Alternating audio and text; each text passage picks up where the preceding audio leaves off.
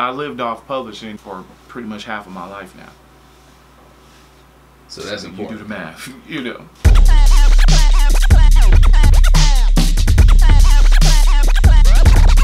Nowadays, we're, we're in the internet age. A lot of people are just collaborating online, not really in person. But you, you pretty much know all the producers you work with on a personal level, right? I would say a good about 70% of them. 30% is just me kind of working with somebody that I don't know. And in which most of the time, by the time I write the first song for them, they call me like, oh my God, who are you? Like, and then we kind of establish from then, all right, this is our relationship. We get a placement, we gonna bust it down, and that's how we gonna work. You're from Milwaukee, Wisconsin. You have a in that city. You have a tradition of, of some pretty dope songwriters. Who are who are some of the songwriters from that city that inspired you? The the biggest songwriter I guess we'll say is um, Rico Love. Uh, he's amazing. Um, funny story. I recently pissed him off. Like I was I was sitting around with some of my friends and they was just like comparing everybody in the city um, who song wrote and was like, yo, Rico Love, he's at the top. And I was like, I was like, yeah, man, he's dope. I, I was like, I would really love to write to the same beat that he wrote to, just so we can hear our differences, because we're pretty similar. You get what I mean? So I wrote on my status like, man, we should we should write to the same beat. Like we should have a a, a write off. Man, he got so mad at me. Like he was like, listen here, young pup. When you get as much placements as I have, then we can write together. Like I was like, uh, like listen, like yo, you got it, bro. I was just, it was just kind of funny and fun to me. But yeah, Rico Love. Uh, my favorite is this guy named Ike, Ike the Writer. Um, Sounds. Um, those guys are amazing. Miltone, yeah.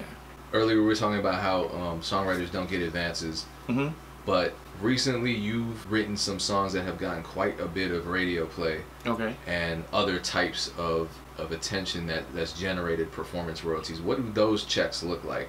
What I will say about them are you would get like one or two big checks, and then the rest would be just scattered out a couple of five hundred dollars, four hundred dollars. But what I will say is they come when you least expect it. So you be happy, like, oh, I got BT just sent me two hundred dollars. Like you get what I'm saying?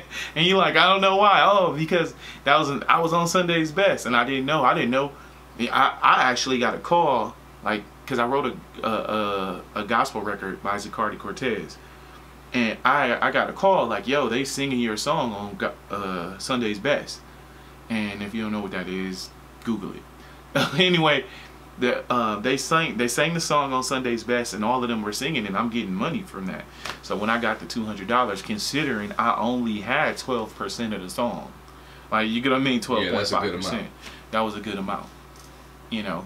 But basically, how it generally works is like they had this plateau when you getting played on the radio, radio, radio. They had this plateau. You get real big, and then that when that check come, it may be anywhere from a thousand to five thousand to ten thousand, and then then it just dwindle down from from there, and depending on how long you stayed on top.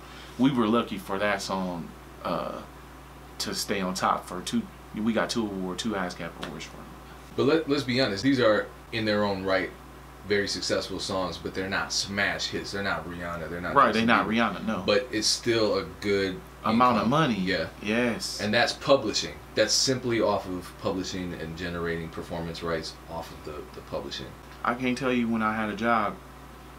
Um, I lived off publishing uh, for people that would consider to be not big artists for pretty much half of my life now. So that's important. you do the math, you know. Yeah.